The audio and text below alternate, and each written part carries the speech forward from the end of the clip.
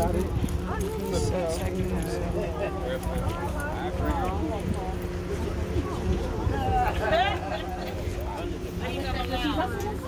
Pull your pants down or up. Hmm? Down or up.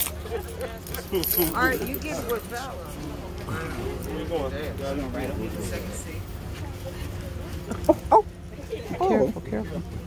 Canada. Okay. You got it. I'm just staying over here with my pops. Yes, ma'am. Yes, Switch places with you. Where Miss Tracy? Miss Tracy. Mm-hmm. No, just to stand behind. I'm sorry. You see. I was trying to get She right here. I'll sit down. She right here.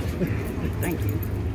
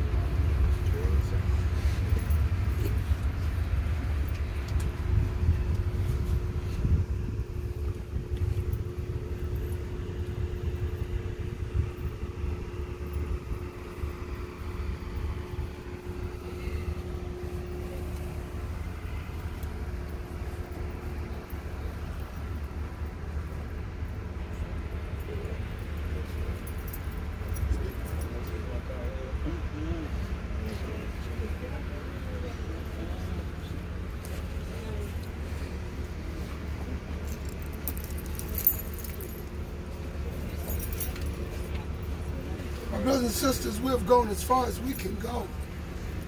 Remember, the Bible says to be absent from the body is to be present with the Lord.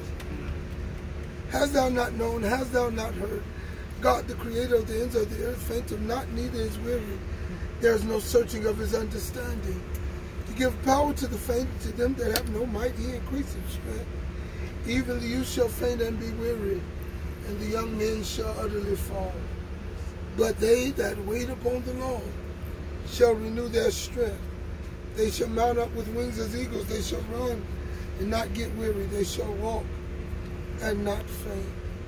Inasmuch as much as it has pleased the Almighty God and His wise providence to take from us Rolandus T.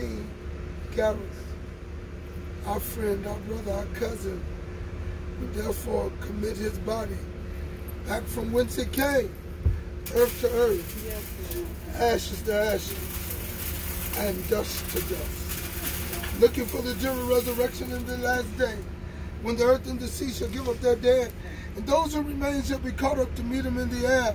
For I heard a voice from heaven saying, Right, henceforth blessed are the dead who die in the Lord, for they shall rest from their labors and their works do follow. Lord, have mercy upon us.